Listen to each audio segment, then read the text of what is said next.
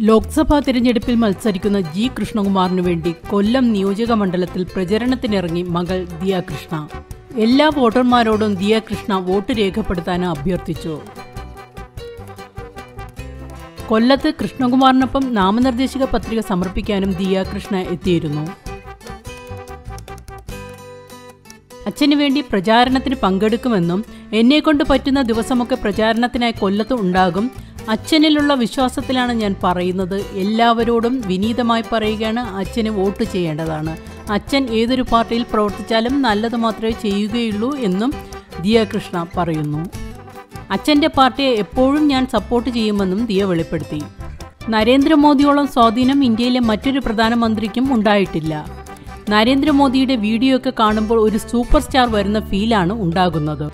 സാധാരണ ഒരു പ്രധാനമന്ത്രി വരുന്നു എന്നൊരു ഫീൽ ഇല്ല. ഇതാണ് ദീയുടെ വെളിപ്പെടുത്തൽ.